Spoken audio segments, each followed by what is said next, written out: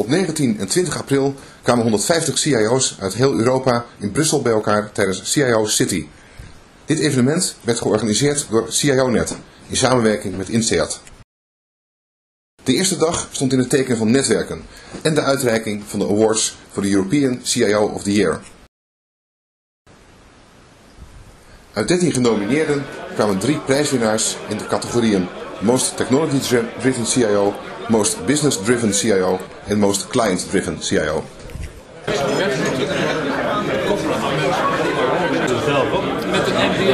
Uit 13 genomineerden kwamen drie prijswinnaars in de categorieën Most Technology Driven CIO, Most Business Driven CIO en Most Client Driven CIO. Tijdens het gala-diner werden de aanwezigen welkom geheten door Hendrik Dekkers, managing partner van CIO-net International. Hij benadrukte nog eens het unieke internationale karakter van deze bijeenkomst.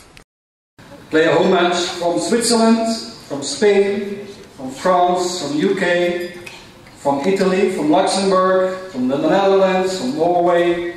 We have people from Portugal, from Sweden, from Singapore, from the US, and even from Curacao. So we're here with 14, 14 different nationalities. Uh, and we will be on CIO City this year with more than 150 attendees over the, uh, over the two days. De prijzen werden uitgereikt door Eurocommissaris Nelly Kroes. Voordat zij de prijzen uitreikte, deed ze nog een oproep aan alle aanwezige CIO's om te komen tot een grote ICT-coalitie om het dreigende tekort aan geschoolde ICT'ers, 700.000 in 2015, zoveel mogelijk tegen te gaan. Um, the first of the prizes for the most impressive technology-driven CIO goes to the CIO of the leading insurance company in Spain and South America. So that is now clear, I imagine.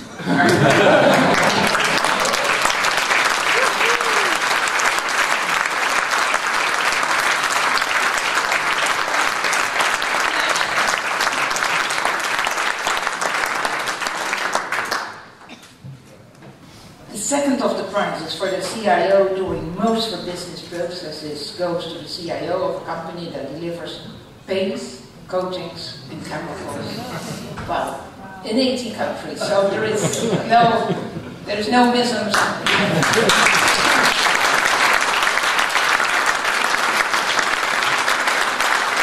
So finally, the prize for the most client-focused CIO goes to the CIO of a software company that needs no introduction, Olivier Bassman of SAP.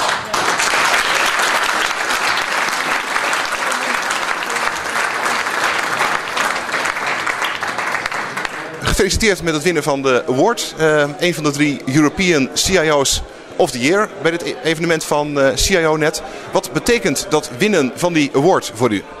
Ja, het is een enorme waardering voor het team en het type organisatie wat we aan het worden zijn.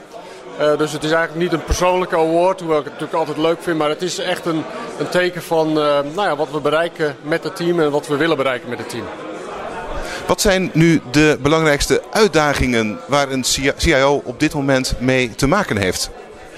Nou, er is geen bedrijf meer tegenwoordig wat niet in beweging is. En ik denk de mate waarin je niet alleen daar reactief in meedoet, uh, maar eigenlijk proactief in bij kan dragen, uh, kan innoveren, kan, kan uh, meehelpen trekken.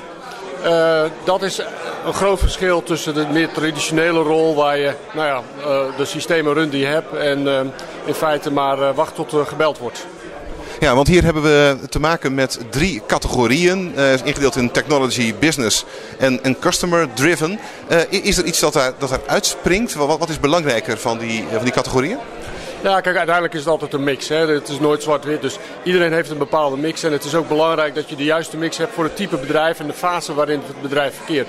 Op dit moment binnen Axel Nobel zijn we heel erg bezig met het nadenken over waar processen kunnen uh, harmoniseren.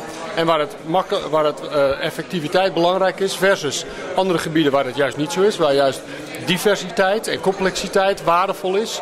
Nou, daar waar het, waar het niet uitmaakt, zal ik maar zeggen. En niet uitmaakt omdat het niet belangrijk is, maar daar waar het niet differentieert. Uh, en je voor efficiëntie wil gaan. Daar zijn enorme te slagen te maken voor een bedrijf waar daar traditioneel minder op gefocust heeft. Dan kan je enorme slagen maken om die efficiëntie eruit te halen. Nu wordt er uh, al uh, vrij lang gediscussieerd over de positie van de CIO in een organisatie. In uw optiek wordt de CIO serieus genoeg genomen door de business? Ja, weet je, die discussie uh, is al lang gaande en die zal ongetwijfeld nog lang doorgaan.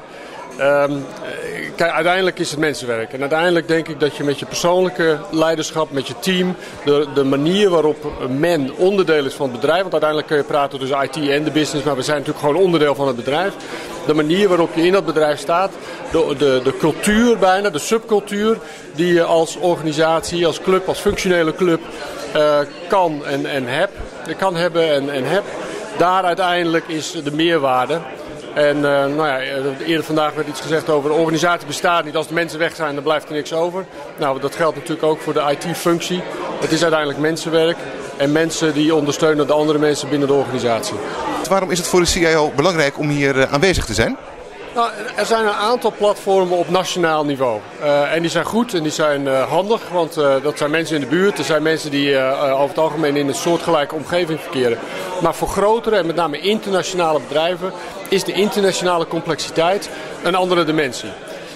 En daar kom je op dit evenement veel beter aan toe om met nou ja, zeg maar gelijkgestelden ervaringen uit te wisselen. te horen wat de bewegingen zijn, wat zij doen, best practice sharing. En nou ja, contacten te leggen waar je later op terug kan vallen.